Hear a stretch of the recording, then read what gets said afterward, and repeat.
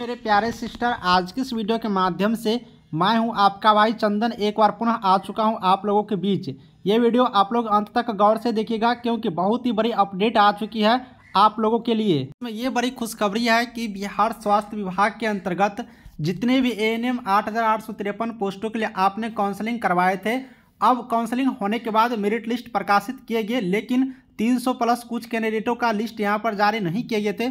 उन सारी बातों को देखते हुए और कुछ भी यहाँ पर पॉइंट आपको दिखाएँगे, जिसको लेकर के सेकेंड मेरिट लिस्ट जारी किए जाएँगे। इसकी तैयारियाँ शुरू हो चुकी है।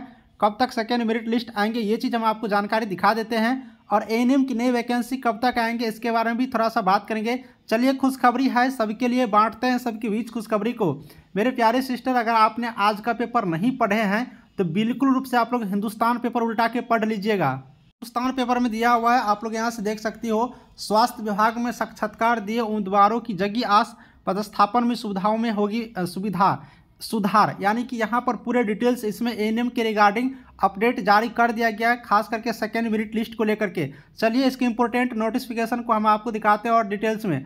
आप लोग देखेंगे तो ये पेपर हिंदुस्तान का है, पहले भी बता चुका हूँ और आपको एक एक करके मैं यहाँ से क्लियर कर देता हूँ।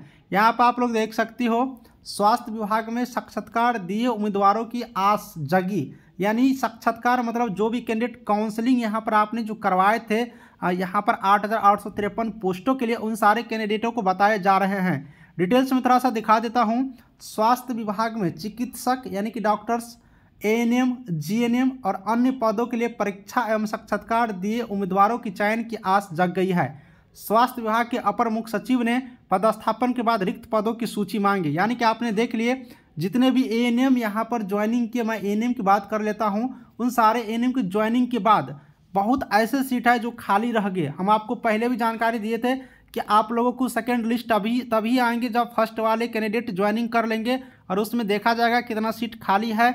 उसके अकॉर्डिंग ही यहाँ पर सेकेंड लिस्ट जारी करने की कोई उम्मीद जगती है।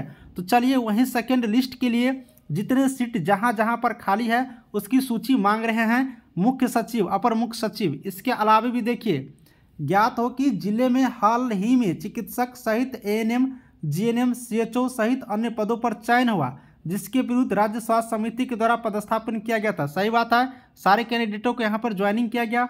इसके अलावे देखिए विभाग द्वारा पदस्थापन के बाद ज़िले में विशेषज्ञ सहित छः नए चिकित्सक एएनएम, जीएनएम, सीएचओ अन्य पदों पर योगदान दिए हैं, लेकिन पदस्थापन के विरुद्ध सभी अभ्यर्थियों योगदान नहीं दिए हैं। यानी कि जितने सीट यहाँ पर थे एएनएम का उन सीट में जितने को भरना था, उतना कैंडिडेट यहाँ पर योगदान ज्वाइनिंग नहीं लिए हैं।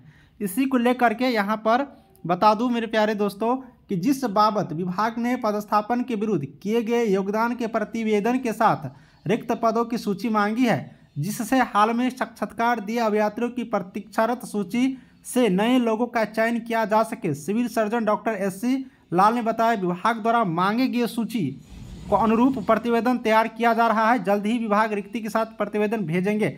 यानी आपने देख लिया, प्रतीक्षा सूची तैयार किया जाना है। इसलिए सारे जिलों से एक लिस्ट मांगा गया है। उस लिस्ट के अकॉर्डिंग जितने सीट खाली रहेंगे और पहले से भी जो सीट खाली है, सारे सीटों को देखते हुए आप लोग को सेकेंड लिस्ट यहाँ पर जारी करने की तैयारियाँ शुरू है।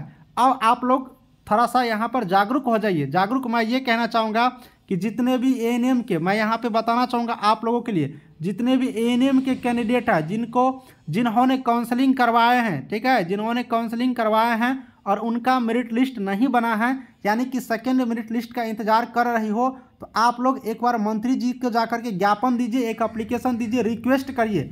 कि सर सेकेंड लिस्ट कम से कम निकाल दीजिए, जिससे कि हम लोगों को भी रोज़गार मिल सके। उनको सारी बात बताइए कि सीट खाली है, बहुत जगह ज्वाइनिंग भी नहीं के उसकी डिटेल्स यहाँ पर मांगे ही जा रहे हैं। तो आप लोग भी अगर इधर से लगिएगा, उनको मेल कीजिए, उनसे रिक्वेस्ट कीजिए, जाके दस बीस की संख्या में मिलिए, जिससे कि उन लोगों को भी लगेंगे, मंत्री जी को भी लगेंगे कि आप लोगों को ज़रूरत है नौकरी की।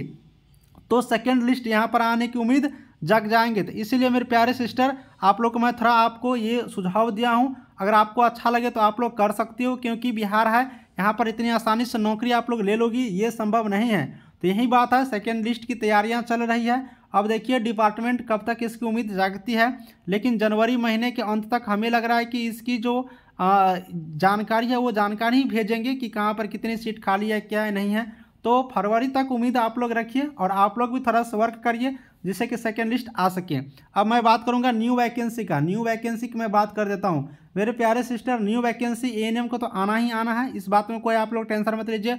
कॉन्फर्म रहिए, भले ही दो तीन चार महीना लगेगा, लेकिन ए की न्यू वैकेंसी आएँगे। इतना समझ लीजिए सीट बहुत ही ज़्यादा खाली है और ए की वैकेंसी आएँगे, इसलिए तैयारी आप लोग शुरू कर दीजिए। आप लोग सोचते होंगे कितने सीट आएँगे क्या क्या प्रोसेस होगा? देखिए, कितने सीट आएँगे, इसका कन्फर्म जानकारी तो नहीं है, लेकिन इतना समझिए कि पाँच हज़ार से ज़्यादा ही सीट आएँगे। आपने जो पैंतीस हज़ार सीट की जानकारी देखी थी, ये नहीं है कि पैंतीस हज़ार एक बार ए की सीट आपके सामने रख दिए जाएँगे। इसमें से कुछ कुछ करके दिए जाएँगे। पाँच हज़ार प्लस ही सीट आएँगे, इतना समझ लीजिए। लिखित एग्ज़ाम होगा, ये भी समझ लीजिए। इसके अकॉर्डिंग आप लोग तैयारी भी करिए। तैयारी मैं करवा रहा हूँ, आप लोग उसको देखते रहिए। साथ ही मेरे प्यारे सिस्टर, आपको सभी जानकारी लगभग मिल गए होंगे।